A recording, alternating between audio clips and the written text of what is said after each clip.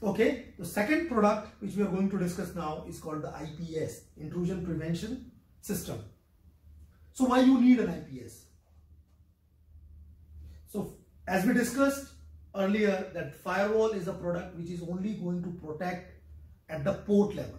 So port is allowed, you are allowed inside the network. If it is not allowed, you are blocked, correct?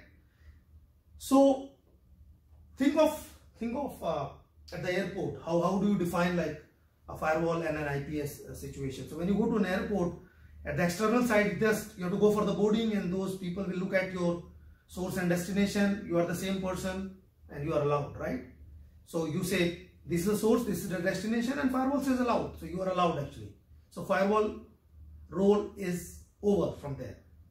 Role of IPS starts, you are allowed, but what all items you can carry along with you. When there is security check, which happens inside the airport, that precisely is what the job of an IPS. Even though you are allowed, you cannot bring some malicious traffic on your my, my website, right?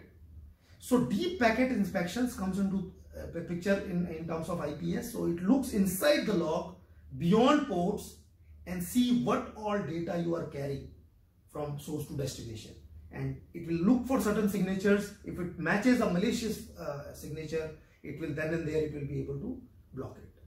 So that is the job job, job of an IPS so firewall.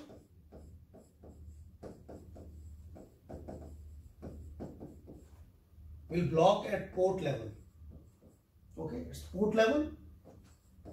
And IPS will block at it will do deep packet inspection.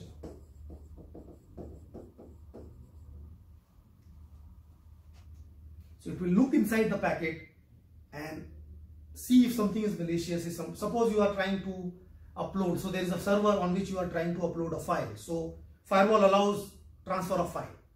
Okay, FTP is a protocol or it could be SSH for that matter but you are uploading a malware infected doc or PDF file. So if anybody is going to open that file, they will be infected.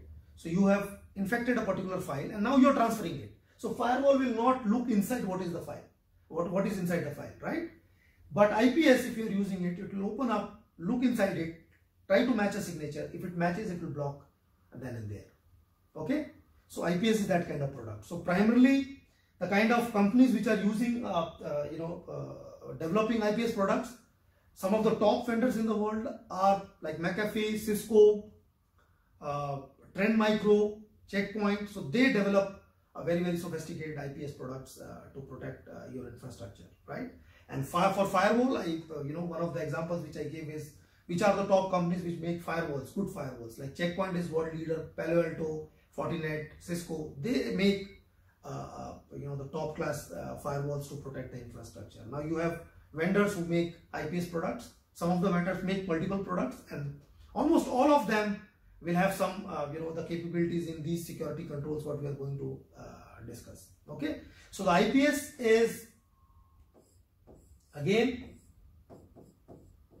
a device which is going to protect your server and the users. So somebody is trying to access the information. Suppose if you are using a Firefox browser and Firefox is infected, uh, you know, it is not, uh, you know, updated to the latest version and it is having some kind of uh, vulnerabilities in that. So when you try to access internet and that particular site is, you know, offering you a bad uh, files to be downloaded, and if you don't use IPS and you are still running the older version of uh, you know Internet Explorer or any Chrome browser or Opera or you know Safari, you will get infected. So your machine will infected because you went outside and downloaded something malicious. So that is where the IPSL comes into picture and it is going to protect you. Or if any hacker is trying to access from outside, right? If they come from inside, uh, you know from outside and try to hit the IPS and try to reach your server. Uh, firewall will first protect at the uh, at the, the, port level, but if you are trying to uh, send some malicious traffic inside uh, the allowed traffic, IPS is going to protect you. okay? So good. So we are going to the next product uh, what has been used by the organizations. Thank you